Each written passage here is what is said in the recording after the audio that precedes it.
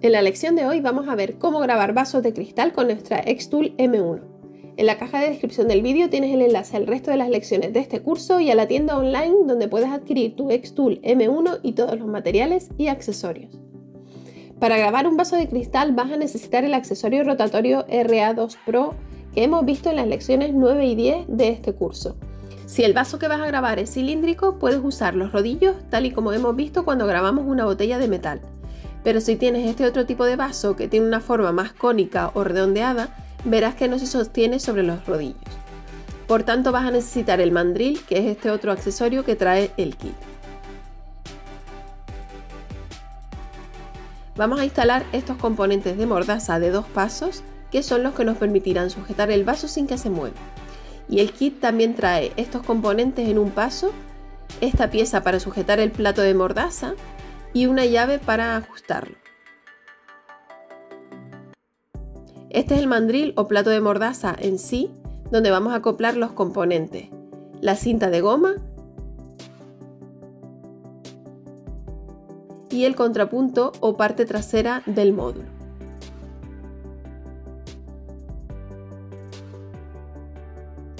Además necesitaremos los tornillos que trae el kit y los destornilladores hexagonales de dos tamaños distintos. En las instrucciones puedes encontrar el paso a paso detallado para montar el mandril, pero no te preocupes que yo te lo voy a explicar y verás que es muy sencillo. En primer lugar deberás quitar los rodillos, para lo cual necesitarás retirar los tornillos traseros con el destornillador hexagonal más pequeño.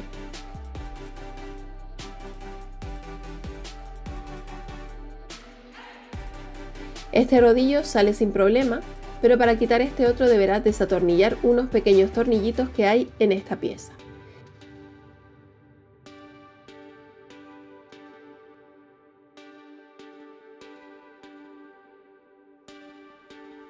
Gira la pieza para quitar el tornillo del otro lado.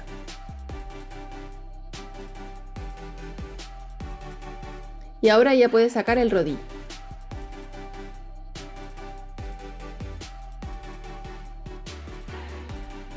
A continuación encaja este componente en este orificio, teniendo en cuenta que deberás girar la rueda hasta que la parte plana de la pieza esté mirando hacia abajo.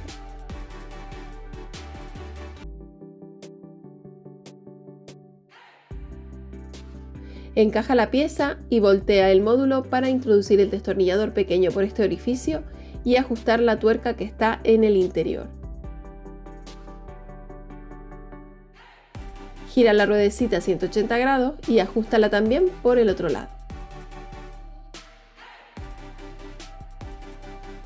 Ahora vamos a colocar en su lugar el mandril que va atornillado en estos dos orificios.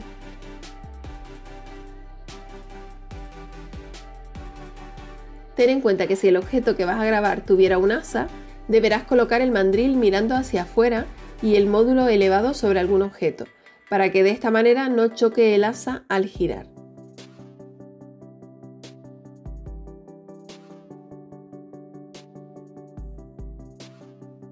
Antes de atornillar el mandril, deberás introducir la cinta por la rueda pequeña y por el mandril y ahora sí puedes introducir los tornillos grandes con el destornillador hexagonal de 2,5 milímetros.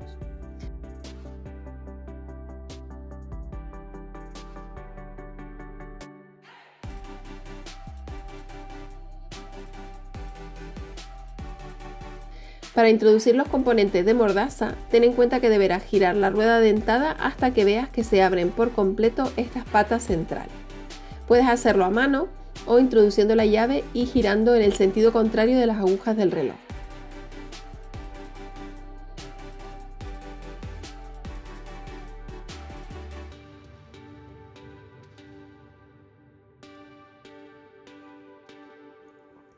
Ahora que ya están totalmente abiertas, vamos a atornillar los componentes de mordaza de dos pasos. Necesitarás 6 tornillos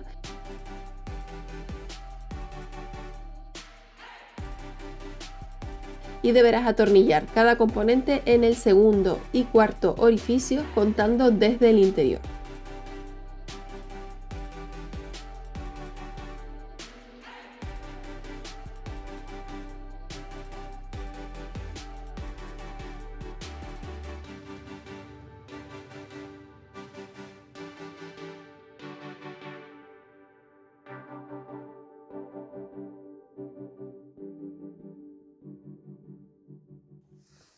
Y ya lo tenemos todo listo para colocar el vaso y apretar la mordaza con ayuda de la llave.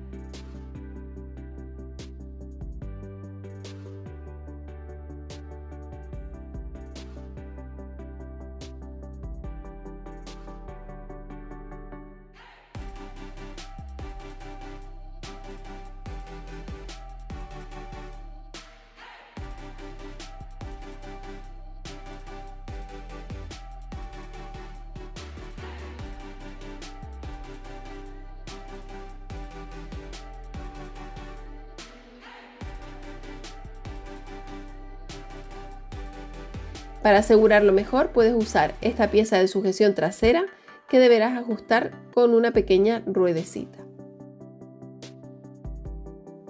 El láser de diodo no puede grabar directamente el cristal, ya que al ser transparente lo atravesaría, así que vamos a preparar la superficie. El primer método que voy a usar es con pintura a la tiza o chalk paint de color grafito. Y tengo también esta muestra de pintura de pared de color gris oscuro que me costó solo un euro. Aplica una capa fina de pintura a la tiza con un pincel suave o tipo esponja hasta cubrir la superficie. Es preferible dar varias capas finas que una muy gruesa, pero la verdad es que con una sola capa para mí fue suficiente.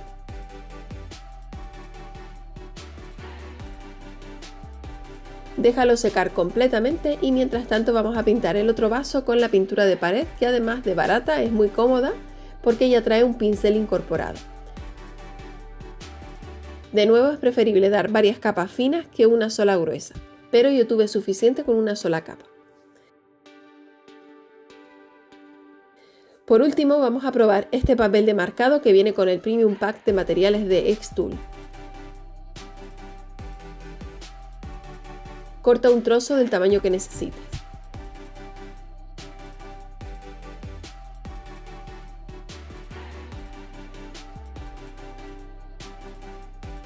Introdúcelo en agua, preferiblemente tibia, hasta que veas que empieza a despegarse. Humedece la superficie de cristal y aplica la lámina negra con mucho cuidado como si se tratara de una calcomanía.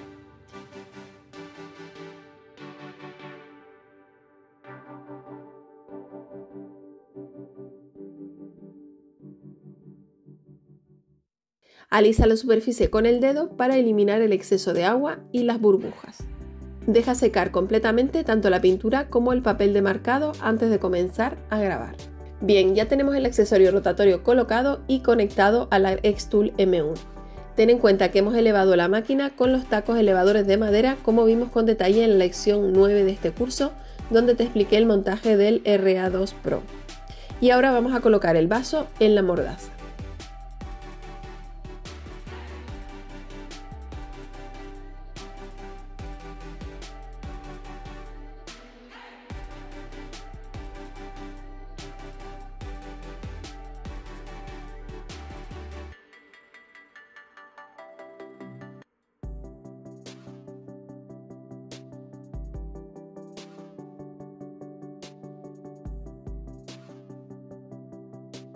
Ahora abre el programa de diseño de Xtool e importa la imagen que quieras grabar en tu vaso.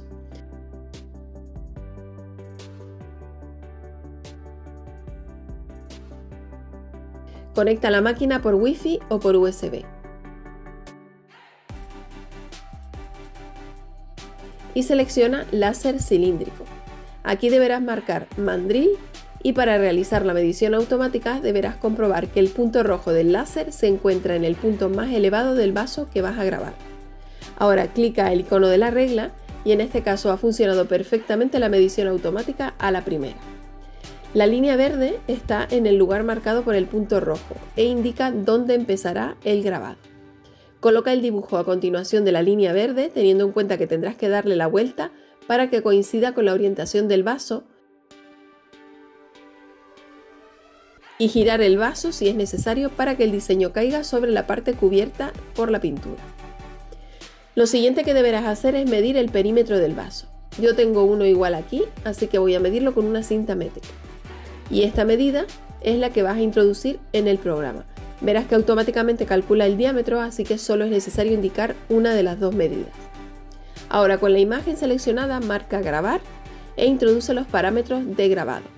Los que yo he usado son alimentación 100, velocidad 83 un paso y 100 líneas por centímetro. Pero puedes hacer pruebas para ver qué configuración es la que mejor te funciona.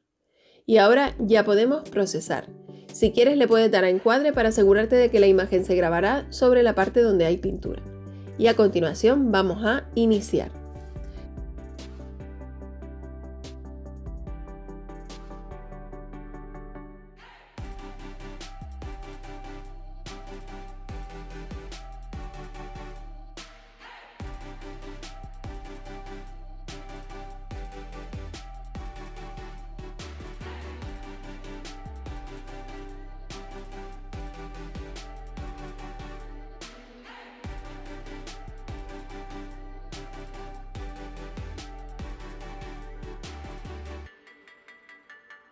Cuando termine el grabado, retira el vaso y verás que ha quedado bastante nítido.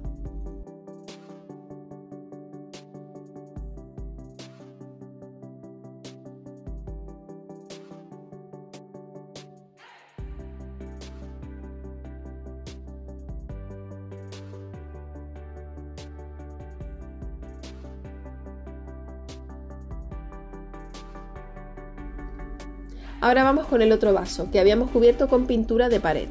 Colócalo en la mordaza y en este caso vamos a prescindir del soporte trasero. Asegúrate de que el punto rojo cae en la superficie más elevada del vaso y al principio de la superficie pintada. En esta ocasión voy a grabar unas letras que tienen bastante relleno a ver qué tal quedan. Sigue todos los pasos anteriores para ubicar el diseño y establecer los parámetros de grabado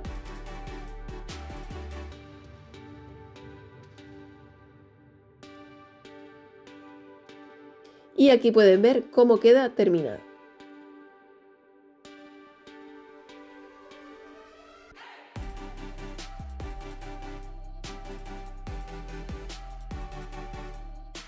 Por último, para el tarro de cristal que cubrimos con papel de marcado, he elegido una imagen de un conejito y unas letras.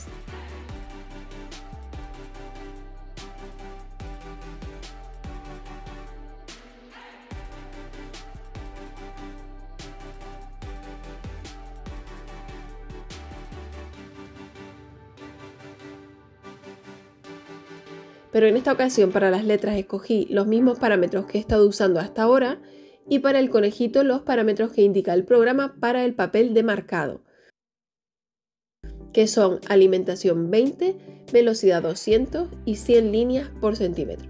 Luego veremos qué tal ha salido el experimento.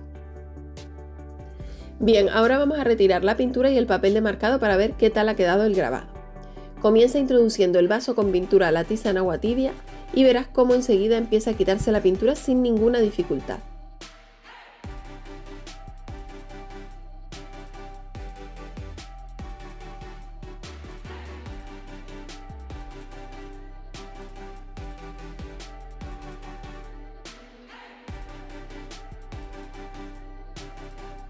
Estoy muy contenta porque el grabado ha quedado perfecto y eso crea una imagen con unas líneas muy finas. Ahora vamos con el del papel de marcado, que deberás introducir también en agua tibia y dejarlo unos minutos hasta que notes que se empieza a despegar.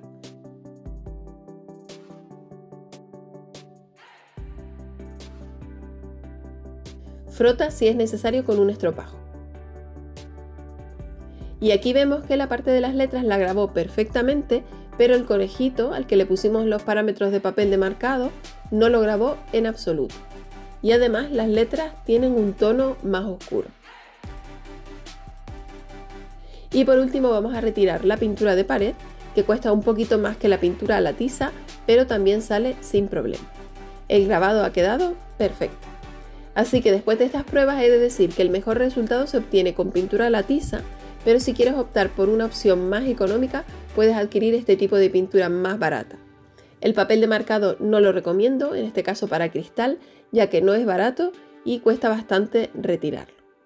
Voy a ponerles un papel negro por dentro para que se aprecie mejor el grabado, que en todos los casos ha quedado espectacular con los parámetros que he seleccionado.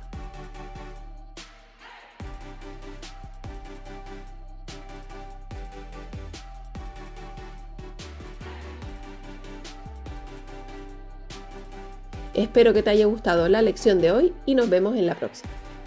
Y ahora es cuando te pido un montón de cosas, pero son todas voluntarias. En pantalla tienes el enlace para ver todos los vídeos de este curso online. Suscríbete al canal, dale a like, comenta y comparte este vídeo si te ha gustado, que así me ayudas a llegar a más gente. Visita el blog www.lj.com para más información y tutoriales y nos vemos en el próximo vídeo. Adiós.